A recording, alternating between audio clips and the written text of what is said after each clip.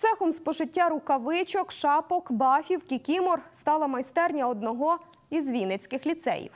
Від початку повномасштабного вторгнення російських окупантів учні та педагоги прагнули бути корисними для ЗСУ. Маючи у майстернях, хоча й старі, але працюючі швейні машинки Подолка, взялись виготовляти аптечки за натівським зразком. Потім майки, рукавички та кікімори. Скільки всього відшили, змайстрували, зварили та відправили воякам уже за останні півтора роки, не згадають. Але навіть не маючи тканини, не зупиняли роботу майстерні ні на день. Бо запитів від частин йде чимало.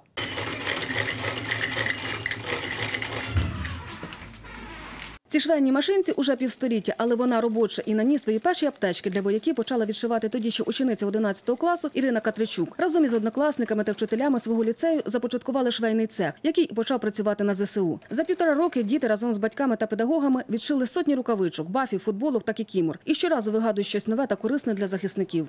Зараз я працюю над виготовленням е, шортів е, для військових, які будуть поранені, які не зможуть одягати повноцінні шорти, повноцінні штани.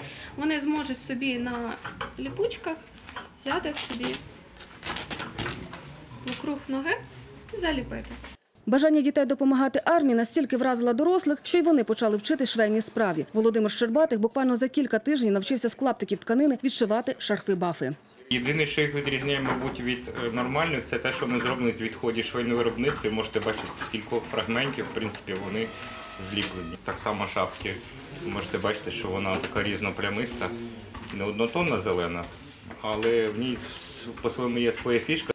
Дорожать кожним клаптиком матерії, аби перетворити її на щось корисне. Віктор Могуч, організатор волонтерської майстерні, каже, запити від хлопців надходять щодня. Останній був на маскувальні костюми, які не побачить ворог.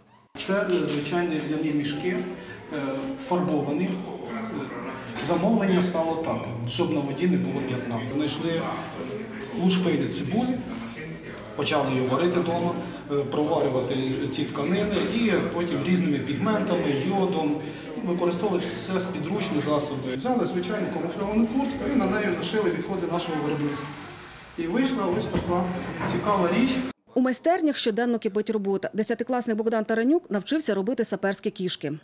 Я вигинав, шукав проволоку, проволоку шукав вдома, знайшов. Вигинав, потім батько, коли був вдома, він зварював. І отак от і вийшло. А краще Дмитра Власюка ніхто не може скласти аптечку. Хлопець знає все, що має бути в комплекті порятунку. Я укладаю це, сортую, деякі бинти кладуться, бо вони є різних видів, є стерильні, нестерильні. І цей. Потім е, ми кладемо, так, це у нас е, бандажі, е, потім бинти. Також упаковуємо кожну аптечку запальничками.